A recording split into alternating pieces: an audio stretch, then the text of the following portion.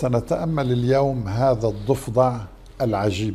إنه يتجمد بشكل كامل ويفقد حياته لمدة ثمانية أشهر. وبمجرد ذوبان الجليد فإنه يعود للحياة تدريجيا. سبحان الله. اليوم سنتأمل قوله تعالى يخرج الحي من الميت ويخرج الميت من الحي. حتى يتبين لهم أنه الحق. السلام عليكم ورحمة الله. أيها الأحبة اليوم سنتأمل هذه الأعجوبة من عجائب الخلق. هذا النوع من الضفادع الصغير بحجمه ولكنه كبير بإعجازه وعجائبه. هذا الضفدع لا يستطيع الاصطياد في الشتاء ولا يستطيع الحصول على الرزق خلال فصل الشتاء وهو ضعيف لدرجة أنه سيصبح فريسة سهلة للمفترسين. ماذا يفعل؟ بكل بساطة يقوم بتجميد نفسه مع قدوم موسم الثلج ويتجمد تدريجيا ولكن هنا يوجد مفاجأة. نحن نعلم أن الخلية الحية إذا تجمد فيها الماء فإنها تنفجر وتفقد حياتها. هذا الضفدع لديه آلية غريبة جدا لتصنيع مانع التجمد. يصنع مانع التجمد لمنع تجمد الماء في خلايا جسده. لديه القدرة أيضا على إيقاف قلبه تماما وعلى توقف الحياة بشكل كامل تقريبا حتى يتحول لمخلوق ميت. بكل معنى الكلمة لا حركة لا قلب ينبض. الدم يتوقف كل شيء متجمد فيه.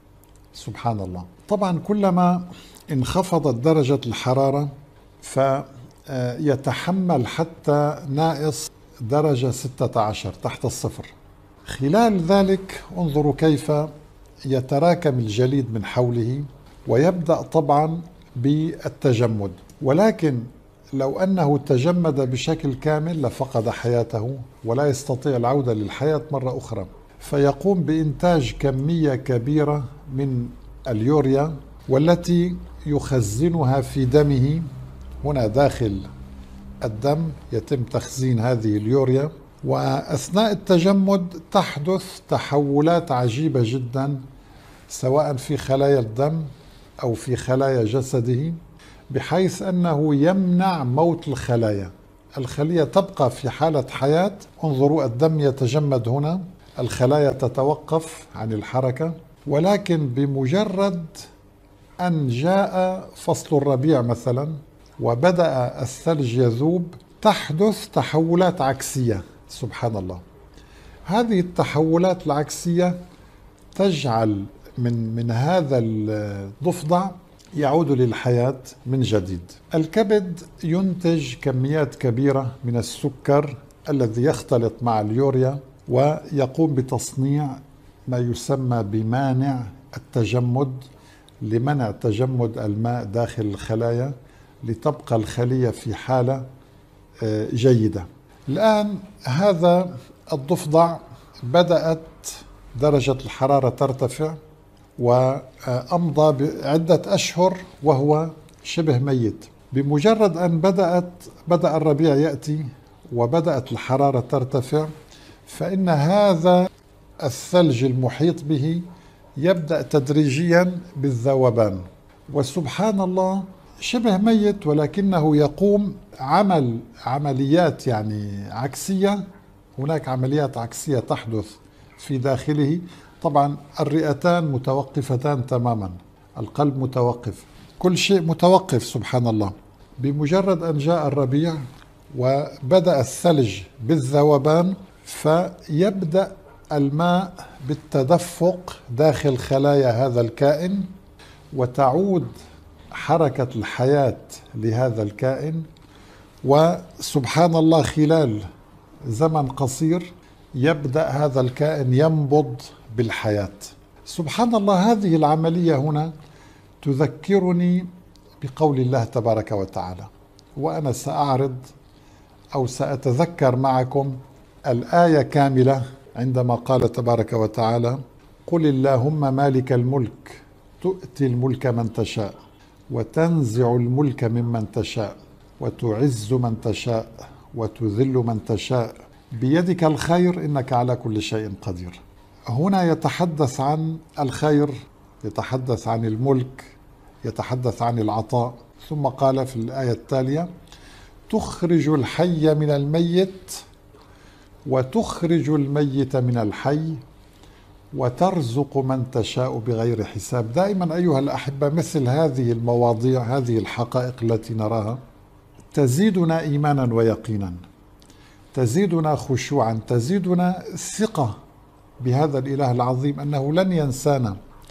انظر هنا كيف بدأ القلب ينبض بدأت الحياة تعود لهذا الكائن الضعيف الذي لا يملك من أمره شيئا ولكن الله سبحانه وتعالى هو الذي زوده بكل البرامج اللازمة لإنجاح هذه العملية عملية التجمد الكامل. يعني سؤال من الذي علمه صنع مادة مضادة للتجمد؟ هذه اختراعات حديثة نحن نعرفها حديثا لمنع تجمد الماء في السيارة مثلا ماء التبريد. اخترعت حديثا. ولكن هذا الضفدع موجود قبل مئات الملايين من السنين وهو يقوم بهذا العمل يموت ثم يبعث يموت ثم يبعث ويقوم بكل العمليات اللازمة للحفاظ على طاقته للحفاظ على حياته للحفاظ على آه، قوته أيضا لكي لا يهلك سبحان الله. من الذي علمه ذلك؟ لابد من وجود إله عظيم. أنا أخاطب هنا كل من لديه شك بوجود الخالق عز وجل إن مثل هذه الحقائق هي آية من آيات الله. يعني الله سبحانه وتعالى عندما يقول سنريهم آياتنا في الآفاق وفي أنفسهم. هذه آية في آفاق الطبيعة حتى يتبين لهم أنه الحق. عندما نرى الله سبحانه وتعالى قال سنريهم.